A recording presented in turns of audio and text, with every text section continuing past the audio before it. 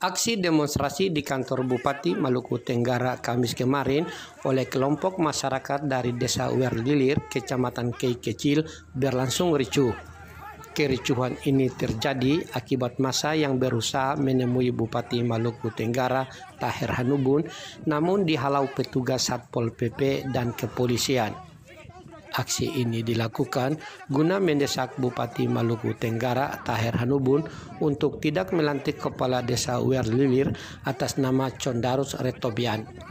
Alasannya karena marga Retobian sesuai tatanan adat setempat bukan sebagai kepala desa namun kursi kepala desa itu adalah milik marga Retob.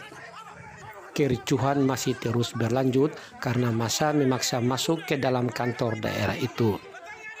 Meskipun dihalau aparat, namun masa berhasil menerobos masuk hingga ke lobi kantor itu. Salah satu pegawai Kesbang Pol, Sofian Rahbau yang menemui para pendemo itu berjanji akan menyampaikan tuntutan mereka ke Bupati.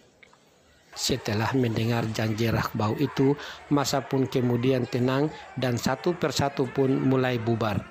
Dari Maluku Tenggara, Yosep Leisubun, Maluku News.